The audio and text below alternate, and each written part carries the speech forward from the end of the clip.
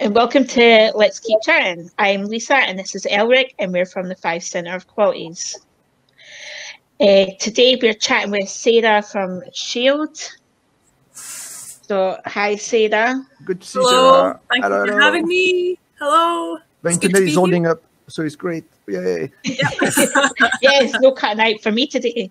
Um, the podcast has been about community groups or organisations from around Fife, and we chat about what they're doing to help people from different equality groups and who and who are dealing with uh, poverty and how they're coping with uh, COVID nineteen situation. But we're also doing a video of this, which uh, kind of works sometimes, but uh, that helps people to actually put uh, subtitles or closed captions on YouTube. Uh, but if not, just listen to a podcast. That's the best way, really. Perfect. Um, so, welcome to the final episode of Let's Keep Chatting uh, of Series 2, Sarah. um, we first met you back in September for Diversity Week.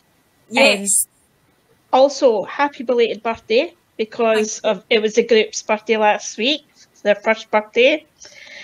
Um, so, how are you been uh, coping? You know, we've been we've been coping really, really well, and I feel them as the months go on. Um, we're gaining our own sort of confidence and coming away from that imposter syndrome that we felt very early on. Because we were new to third sector and we'd never worked in a community organisation or any sort of charitable cause, at times it uh, maybe, believe it or not, slowed us down um, because we were maybe a wee bit worried or didn't believe, not, not that we didn't have the belief, but we, we maybe felt that um, we weren't qualified enough to challenge certain problems within the community or we weren't educated enough to know what other um, sectors were, were challenging the problems that we felt were present within Fife. Um, but we definitely have um, grown with the group and um, got a lot of sort of confidence in the work that we do. Not overconfident, you know, we're always challenging ourselves on what we could be doing better and, and how we could be doing it. But no, it's, since we last spoke in September, um, no, it's been good. We've had Christmas, which was a huge event for us and challenging, and we came through it. Um, we have reflected on what we'd maybe do different for next year, and now we're looking forward to um, launching our own food waste charity, which we're aiming for June. So, and we've also formed officially wow. as a community interest company. So, there's been a lot of things going on in such a short space of time. Um, so yeah, we're we're we're we're getting there, and proud of uh, proud of ourselves. And for somebody like me to say that I'm proud of myself is quite rare because I don't really tend to give myself self praise. I'm all about self praise for other people, um, but I'm learning the art of um, being kind to myself and you know giving myself praise, um, which I think um, then allows me to sort of not be um, a fraud because if I'm encouraging others to do these things and if I'm not practicing it, it, it holds no value. So I've really had to self teach myself those qualities. Fair is fair. Yeah, you have to be fair. Mm-hmm. Uh, that's good. Externally, internally. But there's a lot what you said there. Can, can you tell a bit more about this? You, you said there's of a uh, so there's a food recycle uh, charity, and there's, there's also uh, setting yourself as a CIC. Yes. So CIC, So- uh, some people don't know what it is yet. So if you could Yeah, tell us a I'll explain. So CIC format um, doesn't tend to be a um, format that a lot of community groups would choose. And this is because it restricts your funding. That's the fundamental part of it. You will struggle to get any funding for a CIC. Now, a community interest company format, um, I believe, is better for Shield. And this is because there's always going to be a category of people who will never come forward if you're under charitable status because some people don't like to come to charities. Some people don't like to feel a charitable cause and some people want to be able to um, feel that they've got somewhere that they can come forward and still regain their integrity and not feel that it, they have to be embarrassed to use a service. So whilst I knew it was going to be a sacrifice that we wouldn't be able to get the funding, I knew that sacrifice had to be made for the general public to have a service that they could come to without that fear. Um, so, community interest company, they're asset locked. So the fundamental, you know, format is it as is a company. However, because it's asset locked, nobody can self gain. There is no self benefit Um, all profits have to be reinvested back into local community causes. You have to pay the same tax. There's no tax relief. There, there is nothing. But it means that we really have to work hard for our money. Um, which makes us have to stay on our toes. We're going to have to be very motivated. We're going to have to be forward thinking. We're going to have to um, have you know quite good visionary um, and use our skill sets to draw that money in to be able to support the work that we do. And it also allows us to be self-reliant. Um, you know, we could have gone as a charitable status and we probably would have got thousands and thousands of pounds thrown at us. However, with that comes an air of responsibility and commitment that um, people then expect. And if we can't secure that fund in the following year, that means that we maybe have to deprive somebody of a, a paid role that we've, you know, mm-hmm. um, applied for yeah. funding to put them in. And then um, we're all about organic growth. And if we were given too much too soon, I genuinely believe there would be a crash and burn aspect of us.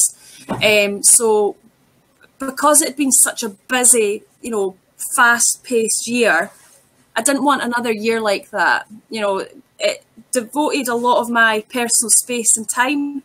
It's um, taken a lot of the volunteers, um, big chunk out of their space and time as well. Mm-hmm. And I, really wanted to pilot some concepts and ideas and make sure that we were one able to do the work that we were doing and two that we had the right people with the right level of commitment because there's a huge in my personal point of view and this is just mine it doesn't make me right and it doesn't make me wrong a lot of people we were at risk of maybe self gain and the wrong types of people having the wrong types of motivate motivation for wanting to be involved with shield so we had to protect the group mm-hmm. so as it stands at the moment, still no wages. That's okay. That's fine. We have the benefit that we can also subscribe to the group to benefit from food. And um, we're now able to take basic things like diesel, but we're not able to take um, like mileage. But that, that's okay. Um, we are um, launching our own um, OAP cafe. So this is oh, going to wow. generate. I know it's. I'm real. This is what I'm really excited about. So um, we will be launching this OAP cafe. It's going to be similar to Social Bite, but it's going to be for OAPs. And we'll have a takeaway for the general public to use and they can pay it forward. Our CIC will also um, make up the shortfall of any monies that we need to support the OAPs. Um, it's based in the co-op down in Rosyth. They have donated a unit to us. It's a double unit. We've applied for a change of purpose and what we aim to do is create a safe um, private space out with a care setting environment for OAPs who maybe don't want to go to daycare or maybe don't want to go to like a stereotypical place to come along, get a coffee, get an or you know, get a sandwich, get stovey soup, basic things. We'll do their shopping for them in the co-op while they sit and enjoy a free sit-down meal. Um, and um, we're going to decorate it of a generation of their time that, that evokes those memories from their childhood and growing up. Um, almost like a memory box cafe. Yeah, memory box cafe. Yeah. yeah. Wow. And as COVID um, restrictions left, what we would aim to do is invite small groups in. It could be small numbers of up to 10, and we'll host dominoes nights, card evenings, um, music, putting on old film, um, just to get them back into socialisation because the individuals that have been at home have actually been deprived the most with social contact. Mm-hmm. Um, the ones in a care home environment, whilst it's been extremely hard for them, they have had some form of socialisation. And we're very passionate about the OAP population that to us, they're the last generation of the least self entitled people you'll ever meet. They are self sufficient. They um, never were brought up in an environment of having a benefit system or being able to um, apply for tax credits. They are very robust and they are actually a difficult, um, a, a, different generation to try and, and help because they are not used to it. So we want to pay that back and it's an honour to be able to just create a, a, an environment for them to come along and we learn learn from them you know, we can learn a lot from, from our OAP generation. And any um, profits, you know, that say we have extra money that, you know, so many meals have been paid for, these will be used to then reach out to other OAP organisations in the area um, that we could maybe then say to, I don't know, say it was um, a care home in Dunfermline or Glenrothes, we could say we've got a budget here. We'd like to donate this money to you to maybe take them out for the day or get some form of entertainment in for the afternoon. So then we can outreach into other areas that we, we can't gain access to on behalf so, of Shield. So when you say OAP, it's like uh, it's like people 65 plus, or like you're talking like the the great generation, the people that were just before the Second World War. I think that's how they call the, the greatest generation or something like that. I can't remember. Or someone was mentioning that. So, so, what, what age are you you talking we about? Would, um, we would class any OAP, so in retirement age. Um, any retirement age. Okay. Yeah, retirement age. So we would encourage those individuals, or even in, individuals that have got early dementia before that um, age category, um, because in that in that safe space, they can come along with their carer or their loved one. Um, they can come with a family member just to have some private time, you know, away. So everybody's welcome. It's just that for the sit for actually sitting down, we're we're hoping it will be OAPs either on their own or with with a family member that just want to come along, um, enjoy some company, have some free food, and um, if there was another um, mutation of COVID us having the takeaway allows us to still be able to produce the food and physically take it home to them because we've then um, built up a different sort of captured audience that we maybe never knew about through Shield. Um, so yeah, it's, it's, a win-win situation, um, and I'm really I'm hopeful for it. Um, and we're hoping the money that we fundraise through the CIC and the takeaway will then fund the reality of being able to pull it together and make it a sit down cafe. So no, it's it's exciting, and it oh, means man. then Angela, who's been doing the cooking, she can go and work in there full time, and we can give her a wage. You know, hey. I thought you were about we. no, I know. Angela is for keeping uh, one hundred. So and so it's just nice. It's going to create job opportunities. Exactly. You know, and because we've linked in with the college, it means we can maybe then say to the, the college, you know, we've got a job post here, you know, a few hours a week, maybe get two or three different people in to give them more about the work experience than the actual money. Because this year they've been deprived of stereotypical student jobs. Mm-hmm. And it's not about it's not about the monetary value of that. It's the work experience you know you've got educated people that have not been able to get work experience and it's it's tragic yeah it's the after ripple effect of of everything definitely yeah. the time to rebuild as well we need to think about okay how do we recover from this and it's time yeah. to, to, put that in place everywhere mm-hmm. yeah yeah yeah yeah my, my daughter's one of those students that's been deprived of work experience this year because of what's going on you know and it's all getting pushed back now for our final year after August. But you know, it's a great idea that you've got this connection with Fife College and you know, in some way helping each other kind of thing at the same time.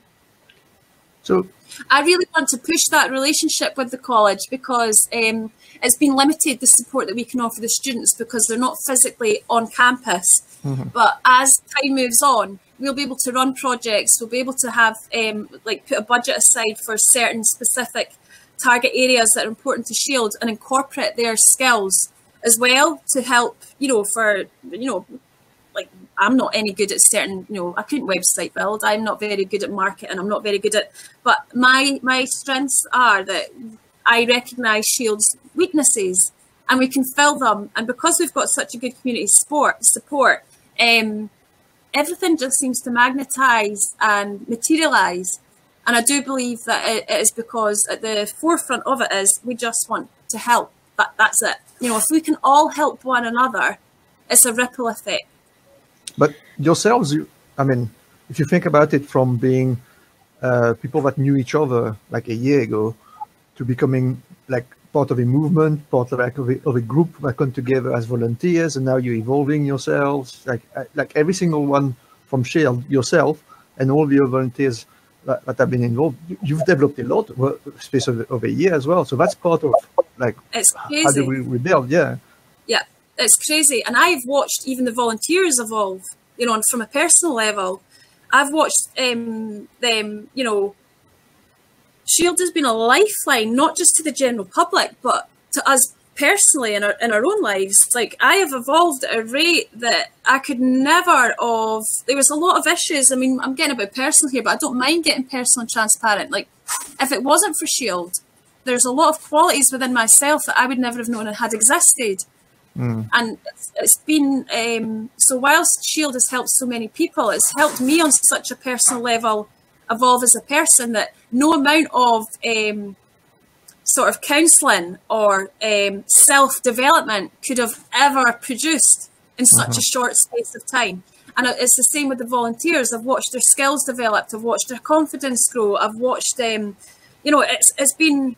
I know it sounds a bit cheesy, but it, it's been it's been beautiful. You know, I feel really lucky that as a team, Shield hasn't just evolved, but as a volunteer group, we've evolved. Yeah, I, have I've been like watching your Facebook page and I've noticed that some of your volunteers have like left, they've continued on helping the community, you know, mm-hmm. and you've still got that sort of, you know, teamwork between each other. But it's good to see that a, a group that started a year ago and you didn't have any uh, idea how to work in the third sector, and then now to have volunteers no, expanding no. and doing their own thing. And it's really what's amazing is, well, I mean, this time last year I was slowly running it from the house. I'd literally moved back to Fife. I'd been away for a decade. I didn't know anybody really because I'd lost connection with a lot of people. But I would say the volunteers, the ratio of volunteers that we've now got, there's only one that's been a connection from my past, which is Emma. Emma and I actually went to high school together, but we were never in a friend group.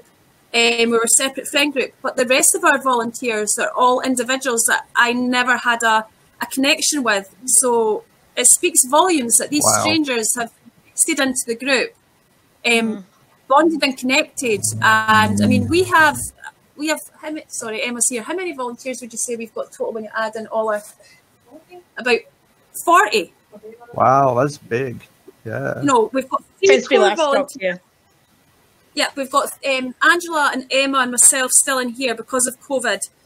We can't introduce other people into this small space, and it is tiring at times and it is exhausting. Um, we all seem to. There's been no fallouts. There's been no. no Angela's. there's been you know. It's it's been it's been really easy like really easy. It just it just seems to all. So yeah, no, I'm extremely proud, and without all the other volunteers, I mean, collecting all that surplus seven nights a week, that's huge. It's a lot, and we've got individuals that we know have vans, so we can pick up the phone and say, "Listen, we've been offered such and such. Would you mind coming along with your van?" And, and you know, people are happy to do it. It's great. We're, we're, very lucky. It's it's an amazing story. Of trans- In some ways, it's it's uh, it's transformed your view as well of uh, the local community in Fife as well, because you, your experience has completely changed from what, as you say, you moved back after 10 years, you're like, okay, where do I pick it up from? But this is completely different. it's, it's, crazy. Had, yeah. I, had I known just how big, um, I'm very, very passionate about helping everybody. Uh, there's, there's no denying that, but one key thing that I have noticed, and the volunteers have noticed throughout all of this, there isn't a lot of support for the working poverty and there isn't a lot of support for students that are in between studies because they maybe have to wait before they can qualify for certain benefits and there's no sort of support there for them and I mean we help OAPs we help homeless we help unemployed people but we are really passionate about the work in poverty and it's, it's something that um, you know we feel if there if there wasn't a need there we we wouldn't need to be here and mm-hmm. I could walk away from Shields tomorrow. Um, although I'm passionate about the work that we do, I'm not emotionally attached. I, I would be able to walk away if there wasn't a need for us. I'd be so bloody proud of what we've done and what we've achieved, and almost delighted that we weren't needed because it'd be a sign to me that society and systems and um, our communities are thriving, mm-hmm. but we're not we're still here because there's a need. But and it doesn't um, consume me or worry me. But I would love to see us maybe being better recognised and financially supported that the work in poverty and students do need a service that enables them to, to come forward. Um, but we'll see. Time will tell. You know, it is what it is, and we just focus on what we're doing, and we make best of what money we do have, and um, we we seem to, you know, for example, um, we got donated coffee. I don't know if you've seen this yeah. story. Bags of it. So- you would have that would have been your That heaven. sounds, Every- that sounds like That's it. There was these coffee beans, and anybody else would have probably been like, "No, I'm not taking them," because they would just sit there. And stereotypically, not a lot of people would have a grinder at home, or they maybe don't drink, you know, um, coffee. But so, but I was like, "No, we'll take it," and we because as I knew. Well, I knew that if we got it branded and um, grind, grounded down and safely and legally, we'd be able to sell that. So there was about a ton, a ton worth of coffee for free, and we've worked out if we sell it at three pounds a bag, that has the potential to be thirteen thousand pounds. Wow. It's called Black No. Gold for a reason. Yeah. rather than rather than just take the coffee and run, the individual that donated it says, "I need to know what your charity, what your charitable cause is." You know, if you were to donate to somebody, who would it be? Because I know that this coffee is worth money, and it's too late because you've given me it. You've agreed. I said, but but what I would like to do is invest it in a cause that's close to your heart, and which is what we did. So, and that's what we're doing. And yeah, the the the, the sell the selling of it's restricted because of COVID, but people are mm-hmm. buying it, you know, and so it, it, it's it's all good. You know, if we can help one another, I could never morally have just taken that coffee, not said anything, and turned that into money for Shield. To me, that would have been selfish. Um. So But, But- but I think a a lot of people would have been like, I can't do anything with a ton of, of coffee beans. That's not for me. But, but Yeah. you were like, oh, it's okay, I'll, I'll do it. I think that, Yeah. that's that, that's that's what's quite refreshing about this. It's like, yeah, I'll take- Elric will be I- I would one on the order list. beans. I just would that- think would that think healthy? different. Shield think differently, and it doesn't mean that we're thinking the right way. Just because somebody else wouldn't have had that that thought doesn't make them wrong. You know, there other other people have different ideas that I would never be able to think up, and I'm and I would be wow that that was really you know. I think it's to be celebrated to be different, and I think because we are in limited resources, we have to we have to think of ways we have to devise um, different methods of generating money into the group. So that's I, I like that story. I think that's that's brilliant. I'm, I'm so I'm so I'm so getting like uh, loads of uh, specialty ground coffee from like well the- trust me we weren't enjoying it when we were having to pick up the boxes uh, because it was not fun. And you know we don't even have equipment to lift things. We don't have trolleys. We don't have hoists and you know things on wheels it is all manual labor and no at the time i'm not going to lie i was cursing myself for agreeing to it because it was it was not fun Okay, I'll, we I'll, I'd, like, I'd like to call out lifting equipment and large Yeah. scale coffee logistics. Uh, that sounds def- Expect an email off Elric for some coffee tonight. definitely. That sounds, that, that sounds really good. You're welcome to it. But but it's, this, this this sounds like a, a, a good time to, to talk about it as well. It's like what what I mean. It sounds like you you, you must have had like hundreds of adventures getting things uh, together or, or initiatives or developing things over here. But would, would you mind telling us some highlights of a of a year, things that are like I'll always remember this, that kind of thing, because you're, you're the only person that we have it twice on on the podcast. So if you think about it, uh, what what really sticks out? Okay, this is like wow. the biggest highlight for me and our, our first major achievement when I realised that um, going with my gut and showing a bit of passion and a bit of grit was the right thing because sometimes you can get a bit scared or feel like you're making an idiot of yourself was when we secured the FareShare contract because at that time um, FareShare I think I was the only group in the whole of the, the UK that had a contract with FareShare that wasn't a formal organisation. I was at my house. You know, I was in my home. I had a garage, And to be able to secure that contract was quite a big achievement. And it was on the strength of my argument was, you know, these OAPs, yeah, I, I get that they're shielding boxes and I think they're invaluable, but OAPs didn't, as, as I've explained before, they didn't have the fine motor skills to maybe even pick the box up off their doorstep. You know, they were big, they were heavy, they were, you know, and or they maybe didn't know how to cook because their wives used to cook for them, and it wasn't convenient. So I got quite passionate about that with the gentleman, the manager from FareShare, and you know, to secure that was quite a bold. I was very, you know, proud of myself, and then obviously getting the space um, into the church that was always a huge highlight and was, what an adventure because i got to meet so many people more volunteers the volunteers got to connect with a, a um, religious organisation that we maybe ordinarily never would and we learned learned so much um, about their faith about their morals um, about how they operate um, and you know I've got some lifelong friends there that I know that if if there's ever a time in my life whilst I'm not um, of any particular religion, there's aspects of of them that um, I highly value and respect.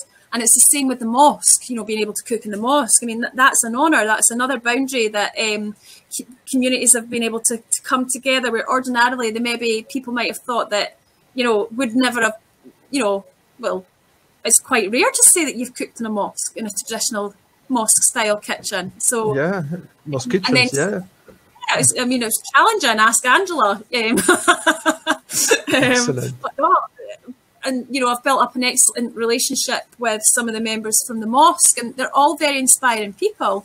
Um, and then again, securing the, the, the college, the building, that was a huge. Like I actually cried. You know, um, it was to secure that and know that it was going to help so many people and the, the potential of you know what goodness it can bring to the community. Um, but I mean, Christmas was a huge achievement.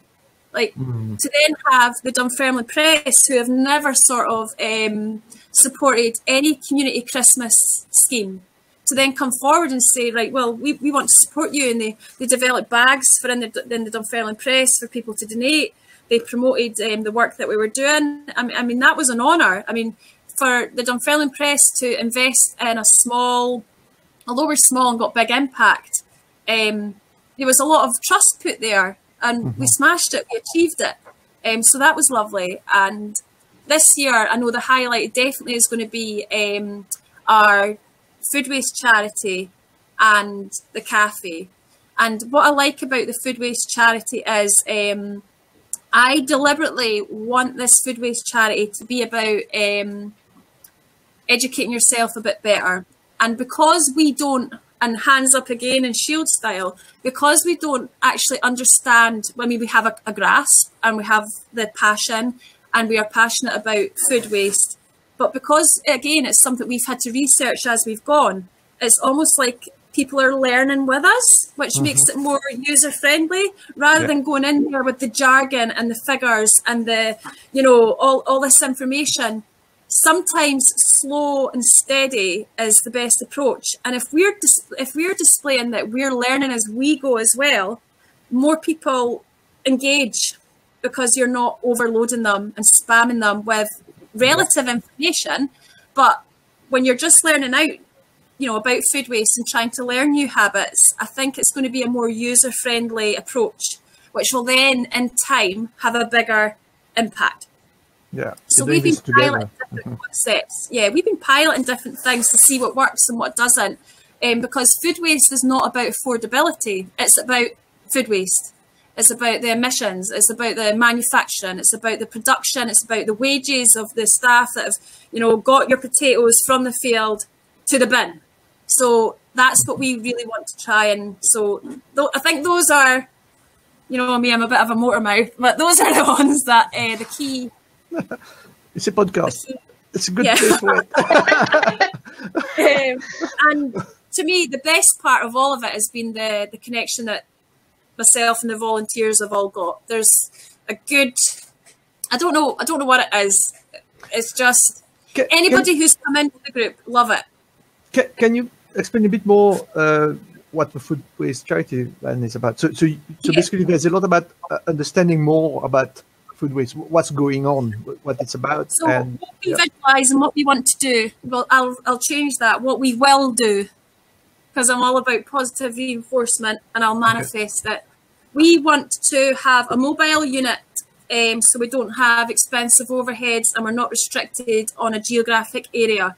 This is a national problem. It's a worldwide problem, but we can't tackle the world and we can't tackle it nationally, but we can tackle it locally. Mm-hmm. But we want to be able to take it out locally. We don't want to be stuck in, we could run it from here, but it, that's not what we want. We want to get down at the root cause of the problem, get out into the communities. So we would like a mobile unit and we foresight that the best approach is probably to start educating children a wee bit better about it and have a friendly approach. So we want to run programs around schools and community groups with uh, young children and youths, and we will encourage them to bring in one product of food waste in. We'll talk about that food waste uh, product. We'll say where it originated from, how it got here, the cost, um, where it would have ended up, that type of thing and run a wee project talking about it so they know. And then with those food waste items, we want to take them out to our mobile van. And while they're doing their schoolwork or, or other tasks in the classroom, we'll then cook up lunch with the food that they've provided and we'll then oh, present them with, with, with, the meal. Um, and they can either eat it in class or they can take it home. And um, we'll set challenges for them to do at home just to just to engage and educate and um, yeah, connect.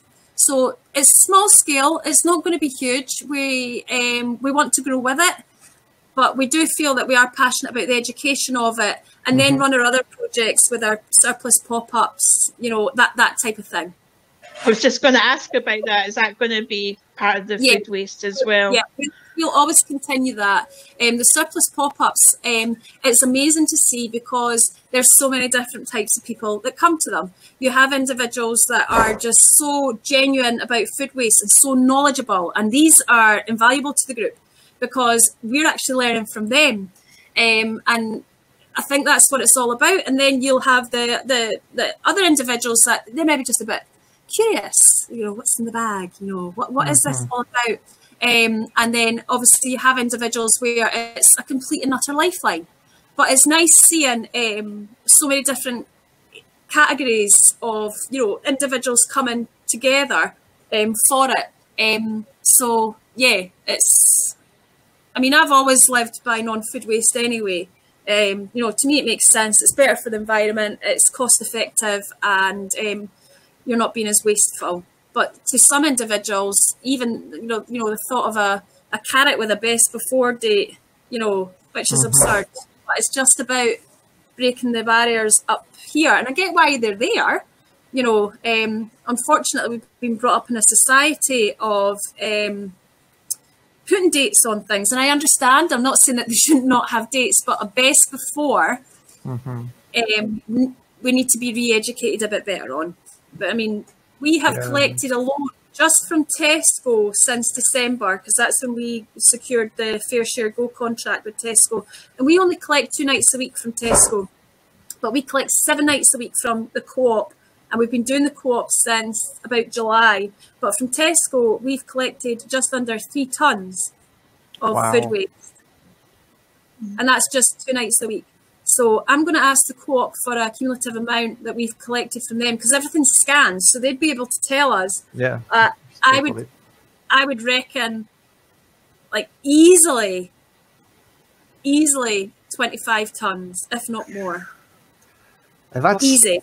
And that's not a, a big area. This is you're talking like a, a, very specific area of work where you're working in, and you're not like thinking about the whole of Fife or basically the whole of Scotland.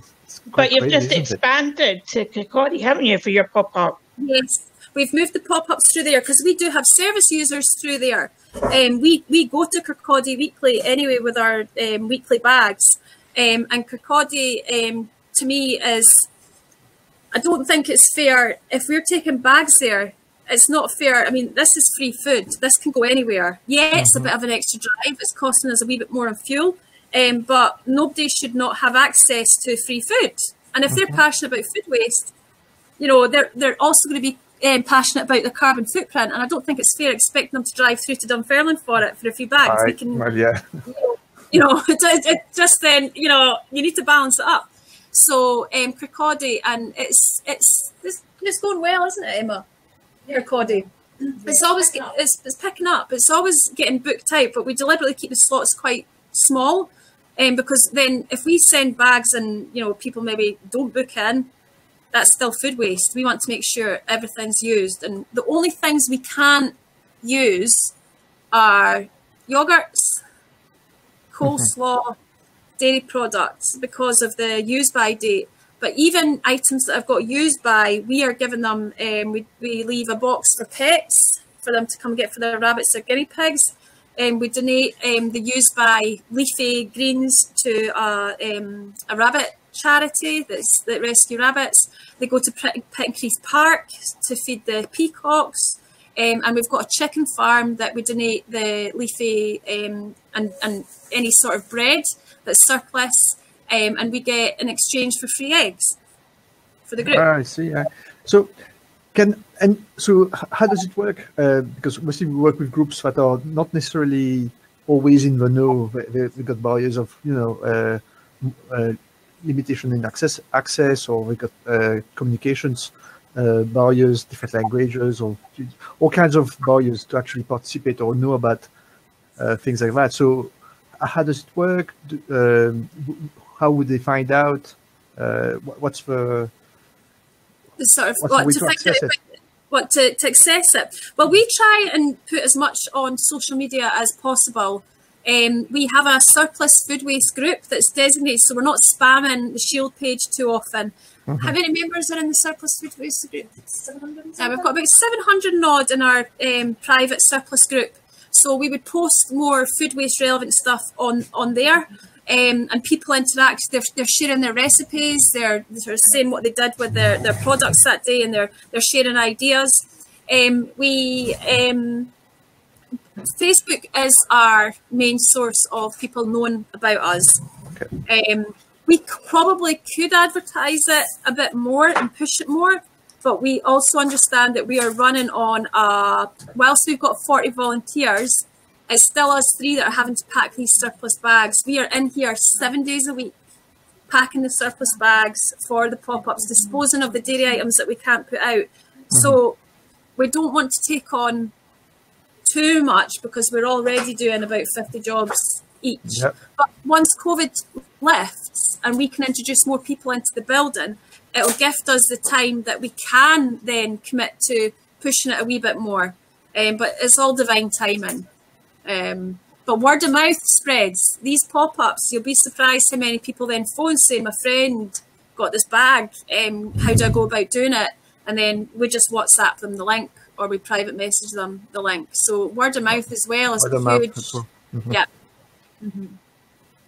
No, it's because we we know. I mean, on our side, we, we know how many, as you say, some OAPs have been fallen out of a, the, the big radar. It's like there's, there's assumptions that they can communicate and, and they can they can cope with a food parcels or what they, they follow Facebook. Some of them do. Some of them are super active on it, but not everyone Yeah. does.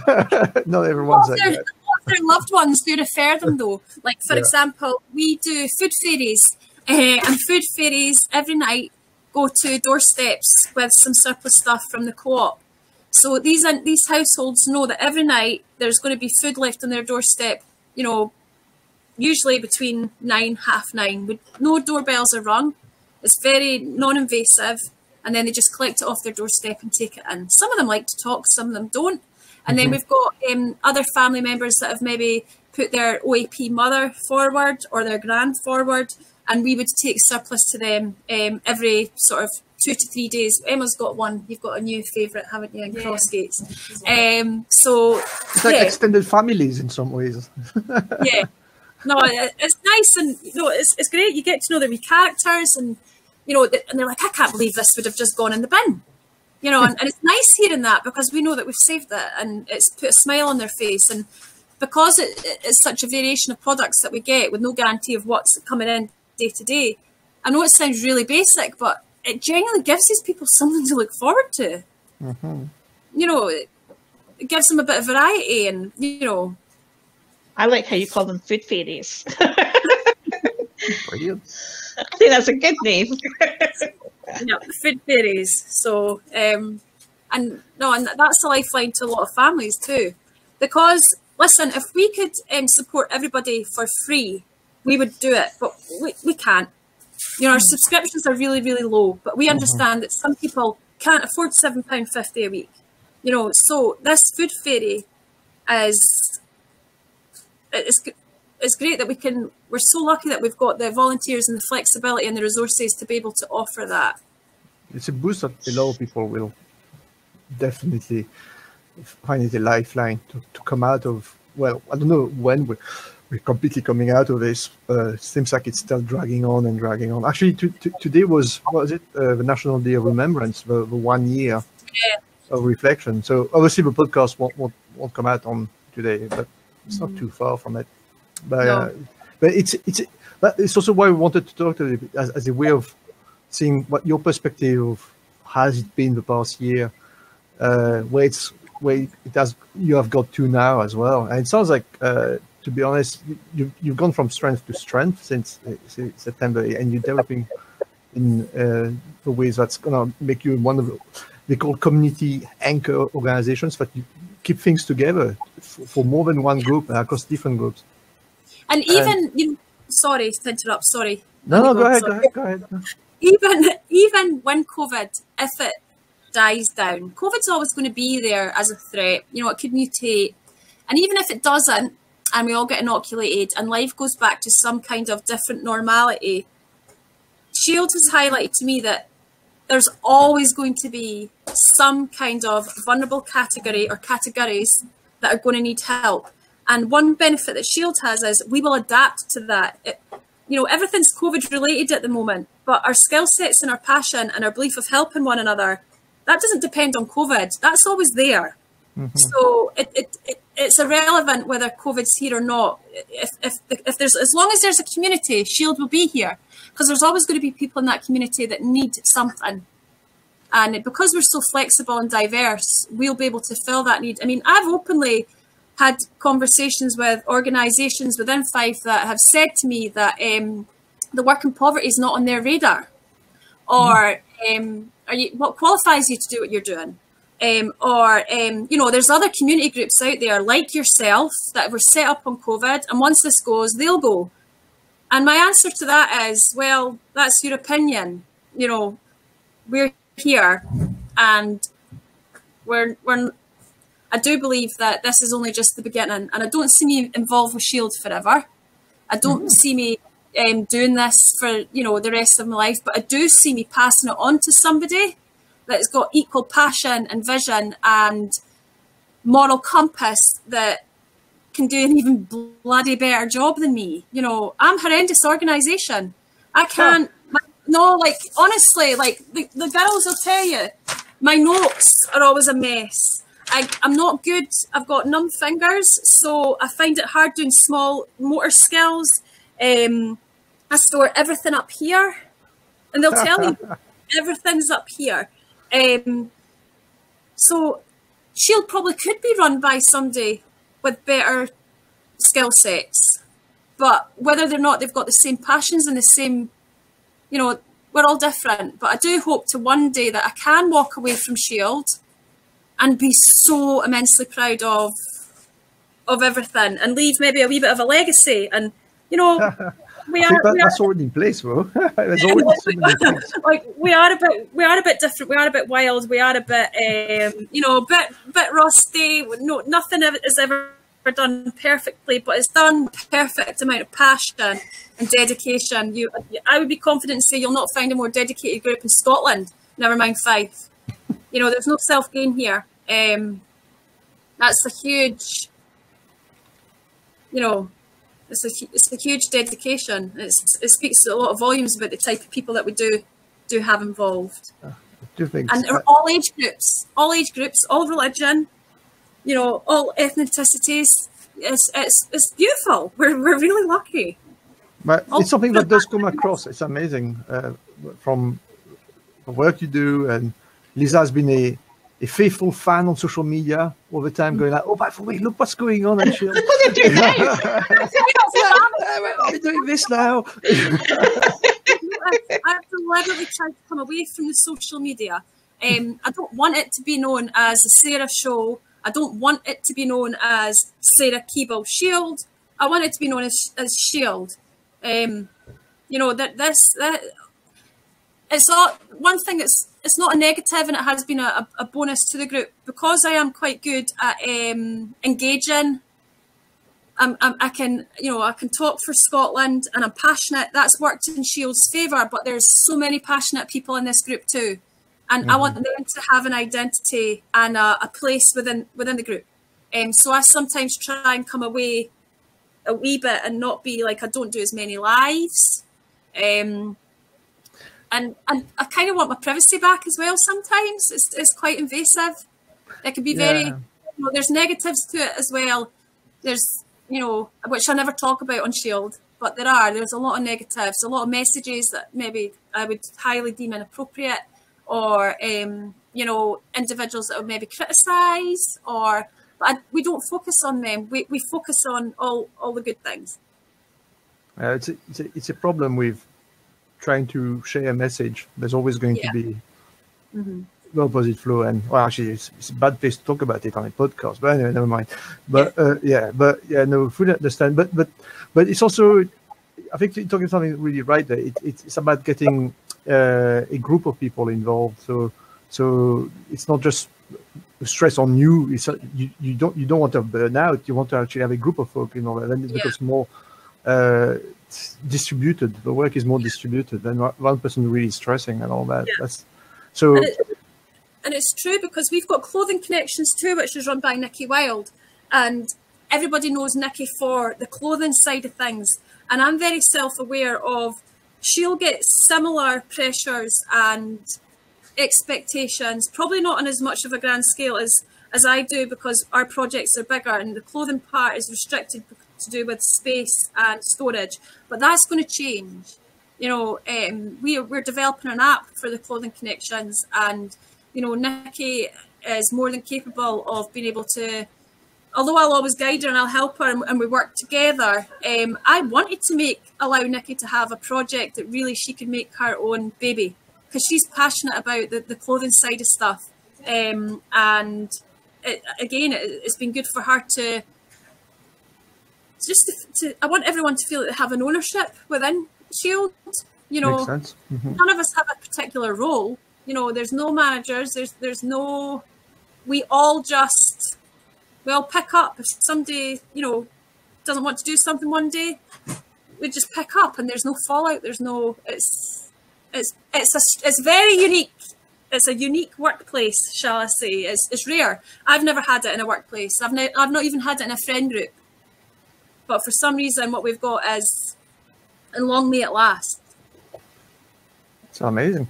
The but the thing that uh, we we try and find out as well at this time when the podcast is like, okay, this is where you got to. Now, if you look ahead, what's your big wish? That has to happen. that's the next big thing. That's like, uh, so for some folk, I think I think uh, last time when we talked about it, uh, Lisa was wanting to have some time off homeschooling. I think your wish has come true, Lisa. No. Well, I, I, will have to wait and see if um, they say 12th of April they can go back to school. Ah, so it's not true yet. So it's not true yet. It's, it might be true. It might come yeah, true. it might come true. So if you do see me, I might be a wee bit happy.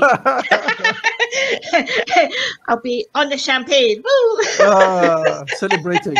But but in your case, what's the one wish you would say for for this year ish? But yeah, for this year for Shield for yourself? What's the thing um, that's like the next thing I, really? We don't make any plans in Shield whatsoever, and that probably sounds like a complete and utter big, massive, farcical lie. But I think that's why we succeed because if we had too many goals and if we didn't achieve them, or if we had, mm-hmm. um, it would almost restrict us, um, or it might overwhelm us So we have a belief system that if something's for the group, it comes to the group, and then we make it happen. Um, Okay. So obviously, I've got the stereotypical things that I'd like to see it do. I want to see us generate money, not not because that that's selfish, but it means then we can do better and bigger work. Um, I want to be able to say to my volunteers, "Hey, you're not just getting diesel this week; you're getting your mileage." You know, just small things that really mean so much. So if I can get the group to a financial st- stable position that we can do that, to me, I, I we're achieving, and we are. We're achieving, but it means for, for me to be able to get the group to that level, I'll be delighted. And from a personal, selfish point of view, what do I want? I'd like to have a weekend off. Um, Ah, I, want. COVID, I want COVID to go away so we can introduce more volunteers into our, our bubble in here. Um, but I can't control that at the moment, so I just have to go on the peace of mind that when the time when that time comes, I'll then enjoy having weekends. Oh, that sounds good. Just basic things, nothing, nothing huge. Sounds pretty good. A good weekend off. That sounds pretty right, I think. Yeah, I think you Maybe definitely holiday. overdue one. a wee holiday. Bahamas, you know, nothing too major. A cruise. I think a lot of people are going to avoid cruises for a while. I don't know why. Yeah. I get the side feeling.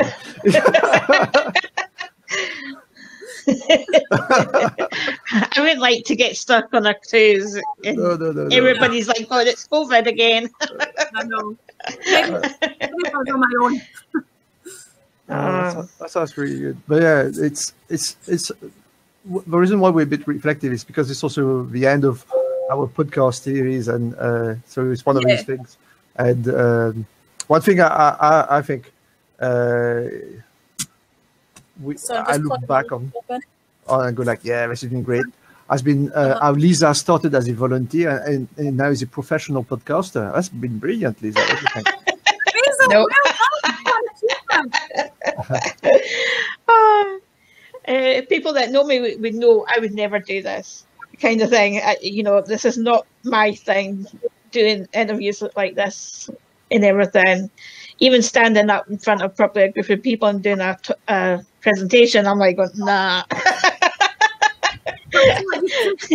And you've probably learnt that aspects of you that had COVID not come into the equation, you would never have known these. You know, so you should be very proud Yes. of yourself. It's not easy. Ah. It's not easy. what I've liked about is uh, is getting to meet all the different community groups, you know, and discussing what they're about and how um, how they work to achieve to help the community. But also, I think more is what groups like yourself and other groups that I've met that have been created because of COVID Yeah. And everything, and how you have started off and then just you are sort of like getting bigger and bigger, and you know, and seeing the achievements along the way that everybody's created. Yeah.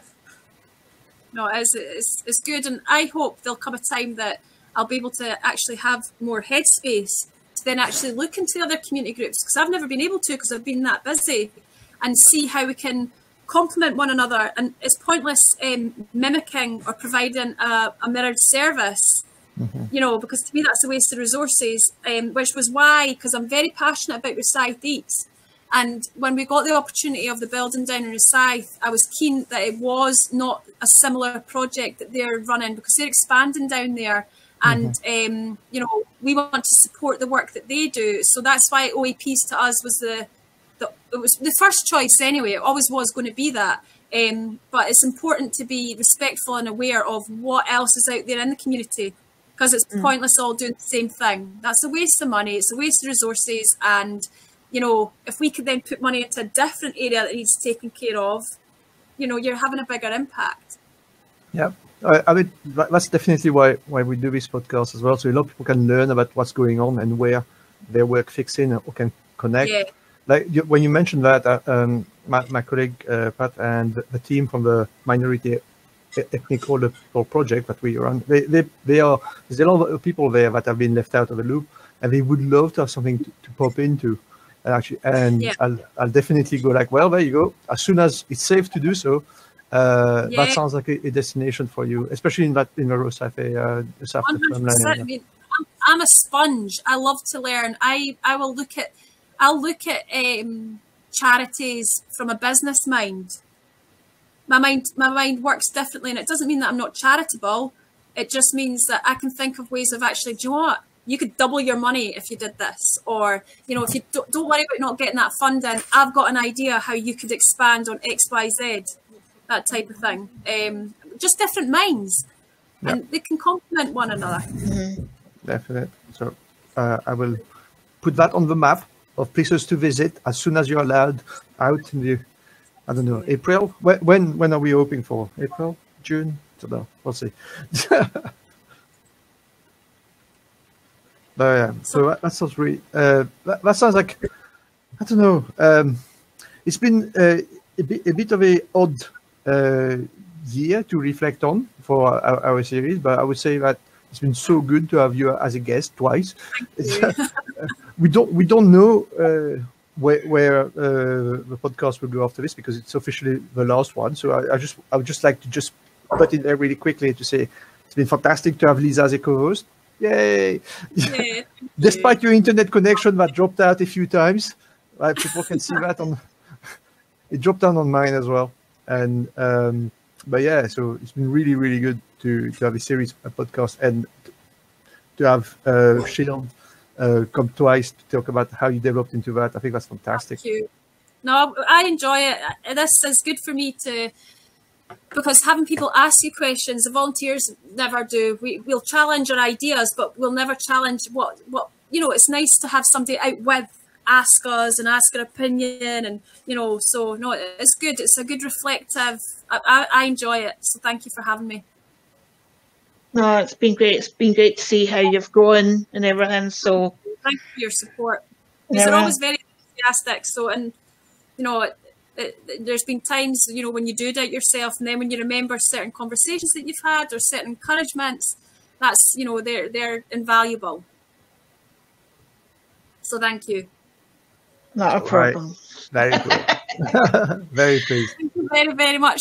Uh, can I take a photo of us so I can share it onto social media about our wee chat today? Is that all right? Yeah. Yes. On my phone. Try, try get Hamish as well. He wants to say hi. Come here. oh, yeah.